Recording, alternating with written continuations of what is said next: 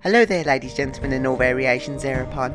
As you may be able to hear, I have a very bad cold, so this week whilst we make a baby bard hat, you're getting a voiceover. I'm making this hat for a baby, it's going to be a relatively small hat, but if you want to do this for an adult size, you do the same thing, you just scale it up. And I'm not even going to bother measuring anything, because this is such an easy build.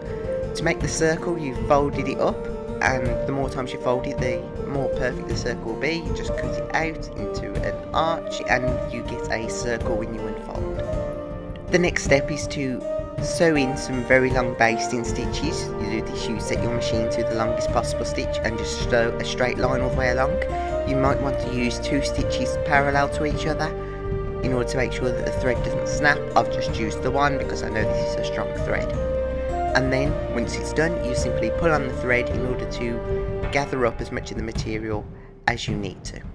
With that all done, then we pin on a piece of ribbon and I'm going to fold this ribbon in half so I enclose the raw edge on the inside of the ribbon and then it's going to be just a simple case of top stitching the ribbon into place.